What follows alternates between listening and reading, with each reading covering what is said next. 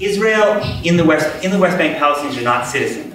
Um, they have very little control over the state that really governs their lives. Um, they go before military courts, which are often conducted in Hebrew, they don't understand, which have prosecution rates of kind of 99% according to some studies. They, um, they have to, their, their travel, if they want to get to Jerusalem or to the Jordan Valley or inside on the other side of Israel's separation barrier is really dramatically limited.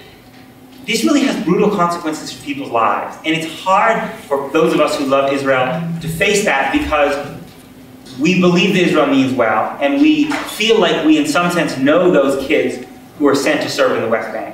And we know that they're good kids. Um, uh, and yet, the more you interact with Palestinians, the more you're forced to confront that even these good people who we feel connected to, we love, we admire uh, so much, that there's a system in place that becomes brutal in practice.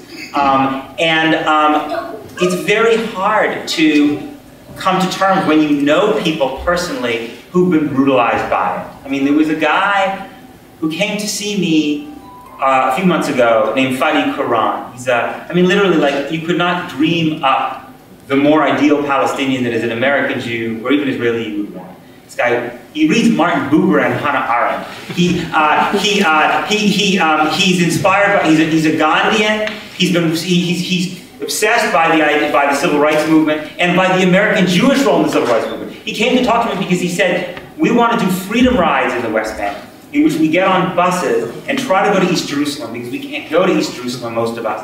Um, and if we did this in the spirit of freedom rides, knowing that American Jews were so involved, do you think any American Jews would support us? And I have to say, just hearing him ask that question was so poignant to me because the truth answer is that American Jews will never know. That's the real answer. We really will not know. They did do these freedom rides. They got the hell beat out of nobody paid attention. Um, then get a confrontation with some police, this guy in Federal. I only say this I know this guy is a good person. I just happen to know he is because I know him. Um, uh, he was accused of assaulting some an Israeli soldier, but there's a video. He did not assault an Israeli soldier. He was arguing with an Israeli soldier. He was angry, but he got he was beaten very badly, um, and then put into, in detention for several days. Um, now has a secret file against him. Can't leave the West Bank.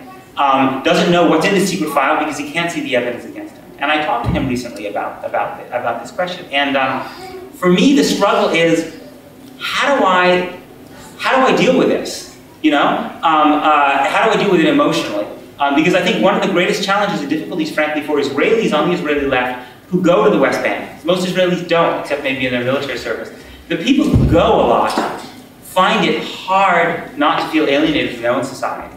Um, and I think that happens to American Jews too, who go spend a lot of time. Because most American Jews who go to Israel never go and experience Palestinian life under occupation. They never do. The birthright trips don't take you. The big guys who go to the sing, go to the King David Hotel six times a year to the machers and meet with their Israeli macher counterparts, they never do it. Um, and it's very, very powerful and very challenging and difficult. And um, I find that um, it doesn't mean the politics are not complicated. It doesn't mean the solution is simple. I'm not trying to say that. It is complicated. But, it, but politics can be complicated, and there can also be a moral reality underneath. And just while we shouldn't use the moral reality to obfuscate the political complication, we shouldn't use the fact that it's complicated politically to forget the fact that there's a moral reality.